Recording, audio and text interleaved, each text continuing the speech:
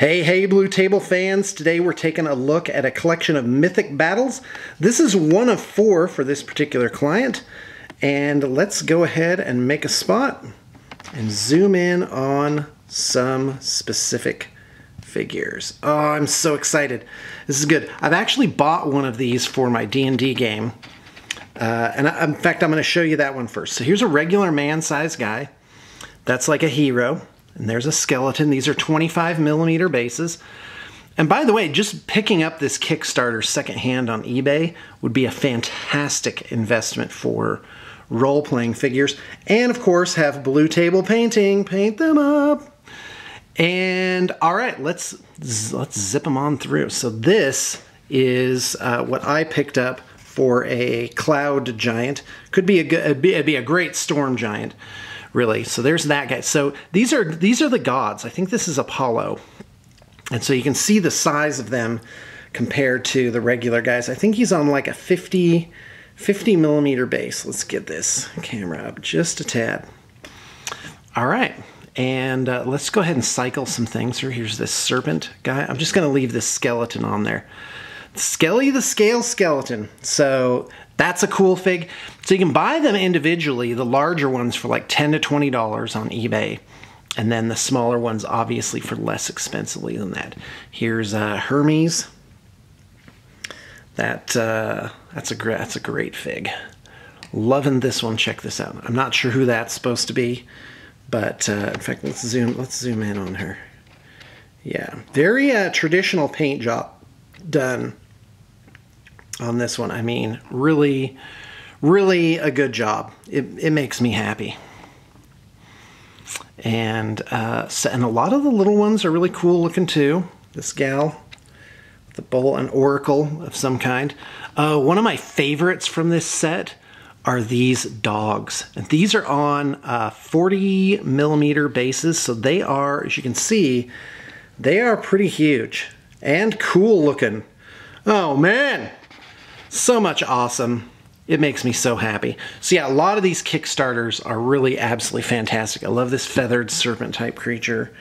Uh, that and that fact that may be a, que a Quetzalcoatl thing, however you say that. Whoever this guy is, right?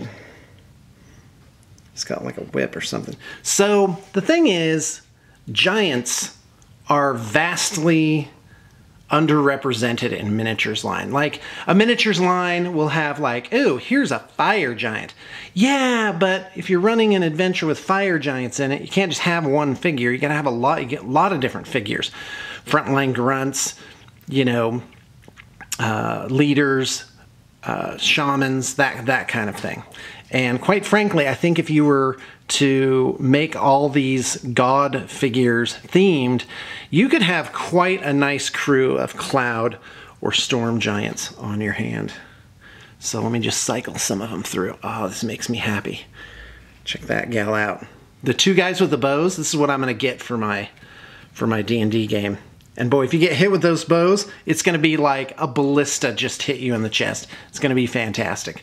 Mm, thank goodness for the hit points system. Yeah, hit points are cinematic. That's the deal with hit points. Some people are like, well, how could you fall 200 feet and still live just because you're 10th level? Well, guess what? Because it's heroic that that happens, you know, somehow. So there's that gal. Pretty awesome. And um, I think this is this is almost like an Eastern Indian type of figure. I have no idea what this is supposed to be. Can I get it to focus right? Apparently I cannot. Well, there you go. Let's back it up a little bit. There you go. There she is. All right, and uh, definitely going to get this rock creature here. Um, there you go. Awesome. What's kind of lacking in this game is the uh, terrain. All you get, as far as I know, are like those columns back there. And I don't know if that's going to make for a great battlefield. So anyway, uh, just going to show you like one more thing. And that is um, this griffin. This is something I'm definitely buying for my D&D game. Griffins are a great thing to have on hand. And I like that the artist uh, put some color on it, you know. of course, that she was probably just following like box art or something like that. Well, guys, uh, that is uh, all I got to say about that.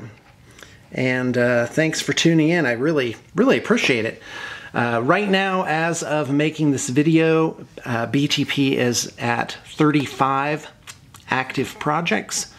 Right around uh, 25 of those are being actively worked on somehow.